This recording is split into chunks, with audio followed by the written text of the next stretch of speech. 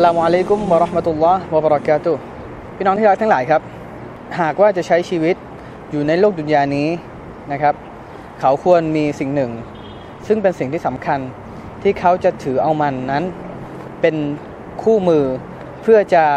พยุงตัวเองไปสู่โลกอาคราสิ่งสิ่งนั้นนั่นก็คือการยืนหยัดในศาสนาอันอิสลามของเขาที่เป็นศาสนาที่เที่ยงธรรม พี่น้องทั้งหลายครับ พูดถึงการยืนหยัดของผู้ศรัทธานั้นอัลลอฮฺสุบฮานตาลาได้ทรงกล่าว ถึงผู้ศรัทธาไว้ว่าในสุรอะซับมีใจความว่าแท้จริงผู้ที่กล่าวว่าอัลลอฮฺสุบฮานตาลานั้นคือพระเจ้าของพวกเขาซุมมัสตะกอมูและพวกเขายืนหยัดต่อคำกล่าวของพวกเขาตัตนัซซัลอะลัยตัตนัซซัลอะลัยตัตนัซซัลอะลัยฮิมุลมะลาอิกะตุอัลลาตะคาฟูวะลาตะฮซะนูมาลาอิกะ จะลงมาหาพวกเขา เป็นคำบัญชาของอัลลอฮฺ سبحانه وتعالى ที่อัลลอฮฺ سبحانه وتعالى จะส่งมาลาอิกะห์มาหาพวกเขา มาบอกอะไรกับพวกเขาครับมาลาอิกะห์จะนำสารอะไรมาหาพวกเขาครับألا تخافوا ولا تحزنوا อย่าได้กลัวอันใด และอย่าได้เสียใจอันใดเลยألا تخافوا ولا تحزنوا وأبشروا بالجنة และจงแจ้งข่าวดีสำหรับพวกเจ้านั้นคือข่าวดีข่าวดีอะไรครับ การได้รับสวนสวรรค์أبشروا بالجنة การที่จะได้เข้าสวนสวรรค์ของอัลลอฮ์ سبحانه وتعالى سبحان الله เพียงแค่ยืนหยัดอะไรต่อครับنحن أولياؤكم في الحياة الدنيا وفي الآخرة เหล่านั้นคือสหายของเจ้าทั้งในโลกดุนยาและอาคิรอسبحان الله نحن أولياؤكم في الحياة الدنيا وفي الآخرة ولكم فيها ما تشتهي أنفسكم ولكم فيها ما تدعونและสำหรับพวกเจ้านั้นคืออะไร คือสิ่งที่พวกเจ้าปรารถนา คือสิ่งที่ อารมณ์ของพวกเจ้าปรารถนาในสวนสวรรค์เราอยากได้อะไรอัลลอฮฺสุบฮานตาลาประทานให้กับเราหมดวะละกุมฟีฮามาตัดดอนนุซุลัมมินกอฟูรุรรหีมนั่นคือที่พำนักไว้สำหรับมุมิน ที่ยืนหยัดจากใครครับกอฟูรุรรหีมจากผู้ที่เมตตาจากอัลลอฮฺสุบฮานตาลาครับ พี่น้องครับ การยืนหยัดนั้นถือเป็นสิ่งสำคัญต่อมุมิน โดยเฉพาะพวกเรา ในสมัยที่ทุกสิ่งทุกอย่างเจริญก้าวหน้าไปสู่การเวลาของมัน ในยุคที่ผู้คนนั้นต่างสนใจกับวัตถุ ในยุคที่ผู้คนนั้นให้ความสำคัญต่อสิ่งที่มันหาข้อพิสูจน์ได้ด้วยกับวัตถุ แต่ตอนตอนนี้ สิ่งที่มุมินจำเป็นที่จะต้องเอามาเป็นเครื่องมือของเขานั่นก็คือการยืนหยัดการ ปัดกล่าวปฏิญาณว่าอัลลอฮ์คือพระเจ้าของเขาและเขานำคำนี้ไปปฏิบัติในชีวิตของเขา เขายืนหยัดในคำกล่าวของเขา พี่น้องครับ ท่านนบีมุฮัมมัดสัลลัลลอฮุอะลัยฮิสลัมได้ทรงเปรียบเทียบ ตัวอย่างของผู้ศรัทธาที่ยืนหยัดในโลกดุนยานี้ ในการเวลานี้ไว้ว่าอะไรครับ ไว้กับไว้ด้วยกับตัวอย่างหนึ่ง ที่ถ้าเราฟังดูแล้วเราอาจจะเห็นภาพเลยว่าผู้ศรัทธานั้นจะกำลังเผชิญอะไรอยู่ ท่านนบีมุฮัมมัดสุลลัลลอฮุอะลัยฮิสลัมได้ทรงกล่าวไว้ในฮะดีษของอิหม่ามติรมิซีเป็นฮะดิษที่สอยะท่านได้กล่าวว่ายะที่อัลนาซิซามานุนอัลซาบิรุอัลอัลซาบิรุฟีฮิมอัลดีนีกัลกาบิดุอัลจมรการเวลาหนึ่งจะมาหามนุษย์ มนุษย์จะต้องเข้าสู่การเวลาหนึ่งสู่ยุคยุคหนึ่งที่อะไรครับ ที่เมื่อถึงยุคนั้นแล้ว คนคนหนึ่งที่เขายืนหยัดอดทนบนศาสนาของเขาบทอดทนต่อ คำกล่าวที่ว่าอัลลอฮ์นั้นคือพระเจ้าของเขา เขาคนนั้นเหมือนกับตัวอย่างคนคนไหนรู้ไหมครับ เขาคนนั้นเหมือนกับตัวอย่างคนที่กำฐานหินไว้อยู่ในมือสุบฮานัลลอฮ์ตัวอย่างนี้นะครับหลังจากที่เราได้ฟังดูแล้วมันเป็นตัวอย่างที่เรานั้นเห็นภาพเลย มันเป็นสิ่งที่มันอยู่ในยุคอยู่ในสมัยของเรา คนที่กำฐานหินนะครับมีสองนัยยะ คนที่ทำกำฐานหินไว้อยู่ในมือ เป็นไปได้ว่าเขาอาจจะกำมันได้ไม่ กี่นาที เขาอาจจะกำมันได้ช่วงหนึ่งอย่างนั้นเขาจะต้องปล่อย เพราะถ้าหากเขากำมันต่อ เขาอาจจะได้รับภัยอันตรายจากความร้อนของหินนั้น และอีกในยยะหนึ่ง เมื่อเราพร้อมที่จะกำฐานหิน เมื่อผู้ศรัทธาคนหนึ่งพร้อมที่จะกำฐานหินตั้งใจ อะไรจะเกิดก็ให้เกิดกำฐานหินแน่นอนครับ อะไรจะเกิดขึ้นกับเขาหินฐานหินอันนั้นที่มันมีความร้อนอย่างสุดขีด มันจะสร้างอันตรายให้กับมือของเขาแน่นอนครับ มือของเขาอาจจะได้รับอันตรายอย่างที่เราคาดไม่ถึง พี่น้องครับ ผู้ศรัทธานั้นจะต้องประสบกับอุปสรรคมากมาย หากว่าเขายืนหยัดอยู่บนศาสนาของเขา หากว่าเขาปฏิญาณตนว่าละอิละฮิลลัลลอฮ์มุฮัมมัดุลรอซูลุลลอฮ์และเขายืนหยัด สิ่งที่อัลลอฮ์สุบานตะลากล่าวเขาปฏิบัติตามสิ่งที่อัลลอฮ์สุบานตะลาห้าม เขาออกห่างจากมัน แน่นอนครับบททดสอบเขาต้องมี โดยเฉพาะคนที่อยู่ในเมือง คนที่อยู่ในเมืองในประเทศของเรา ในเมืองแบบนี้ในการเวลาช่วงนี้ มันเป็นสิ่งที่จะเป็นเครื่องชี้วัดให้เห็นแล้วว่า ยุคยุคนั้นกำลังมาแล้ว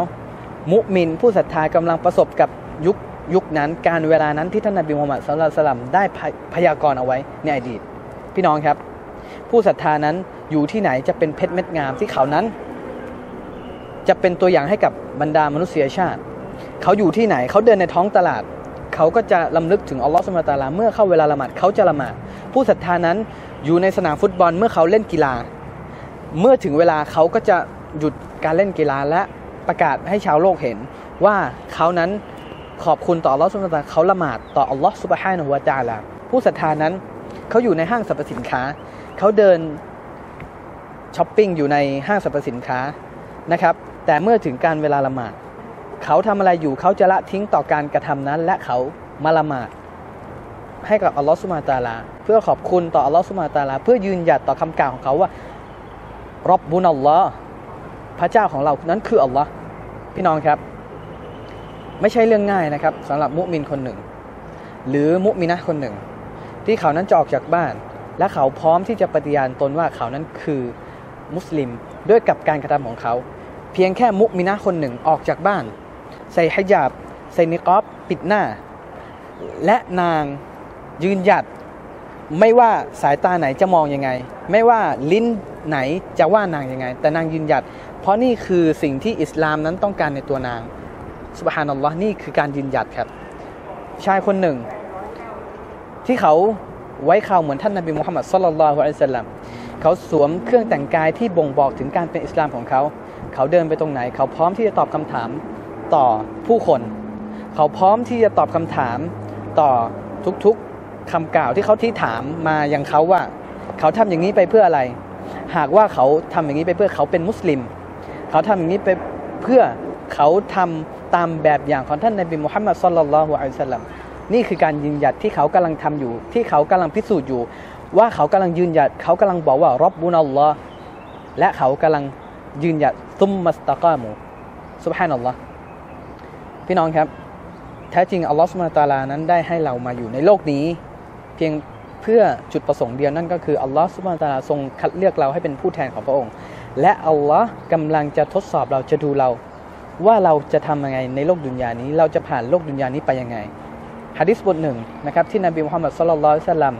ได้เคยกล่าวไว้ในอดีต รายงานโดยอิหม่ามมุสลิม เป็นฮะดิษสวยท่านนบีมุฮัมมัดสุลลัลลอฮุอะลัยฮิวะสัลลัมได้กล่าวไว้ว่าอัดดุนยาฮุลวะตุนฮัดระ فإن الله وإن الله مستخلفكم فيها فينظر كيف تعملون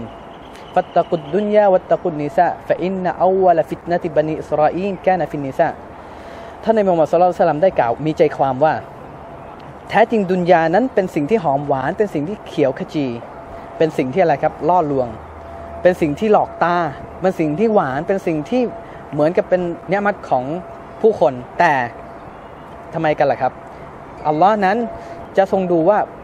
มนุษย์นั้นจะทำไงกับดุนยาที่อัลลอฮ์สุบานตะลาทรงสร้างมา และฟิตนาแรกที่เกิดขึ้นในบรรดาในบรรดาวงวานของบันิสราอลนั่นก็คือฟิตนาที่เกิดขึ้นจากผู้หญิง พี่น้องครับท่านนบีมุฮัมมัดสุลลัลสลัมได้เตือนถึงถึงสองสิ่ง ที่นบีมุฮัมมัดสุลลัลสลัมรับประกันว่าถ้าไม่ระวังมันเราจะต้องเจอกับโทษภัยมันแน่ นั่นก็คือดุนยาและก็ผู้หญิง ความสวยหรูของดุนยาและก็ผู้หญิง แน่นอนครับสิ่งสองสิ่งนี้มันเป็นสิ่งที่พวกเรานั้นกำลังเผชิญมันอยู่ และพวกเรานั้นกำลังเผชิญกับบททดสอบมันอยู่ และอัลลอฮฺสุบตาลากำลังจะทดสอบเรากำลังดูเราว่าเราจะผ่านพ้นบททดสอบของพระองค์อัลลอฮฺสุบตาลาด้วยกับการยืนหยัดของเราไปได้ไหมด้วยกับการปฏิญาณตนว่ารบบุนัลลอฮ์ด้วยกับ การกระทำของเราไปได้หรือเปล่า นี่คือสิ่งสำคัญที่ผู้ศรัทธา จะต้องฟันฝ่ามันไป ไม่ว่ามันไม่ว่ามันจะเป็นอุปสรรคมากน้อยเพียงใด ไม่ว่าเขาจะต้องพบกับอะไรก็ตาม แต่ถ้าหากว่าเขาฟันฝ่ากับมันได้ เขายอมที่จะกำหินที่มันร้อนเราเขายอมที่จะฟันฝ่าและยืนหยัดบนคำกล่าวของเขาอัลลอฮ์จะส่งทูตสวรรค์มาบอกกับเขาว่า อับชิรูบิลจันนะ จงแจ้งข่าวดีกับสวนสวรรค์ของเจ้า นุซุลัมมินกอฟูริรรหีมและนี่คือที่พำนักของพวกเจ้าสำหรับการยืนยันของพวกเจ้า นี่คือของขวัญของพระองค์ที่มีให้แก่พวกเจ้า ขอลอสมาตาลาทรงทำให้พวกเราทั้งหลาย เป็นผู้ที่ยืนหยัดอยู่ในศาสนาของพระองค์ และได้รับความสำเร็จทั้งในโลกดุนยาและโลกอัคราและขอให้วินาทีสุดท้ายของพวกเรา คือวินาทีสุดท้ายที่ยืนหยัดบนศาสนาของอิสลาม บนลาอิลาฮะอิลลัลลอฮ์มุฮัมมัดุลรอซูลุลลอฮ์อัสสลามุอะลัยกุมวะเราะห์มะตุลลอฮ์วะบะเราะกาตุฮ์ الحمد لله الحمد لله all praises to Allah all praises to Allah الحمد